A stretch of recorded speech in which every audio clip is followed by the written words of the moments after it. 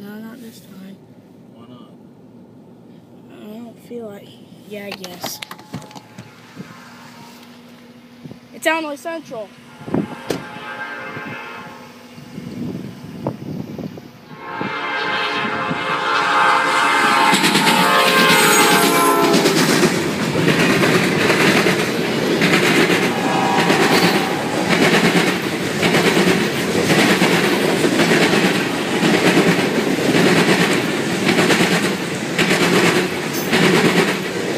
you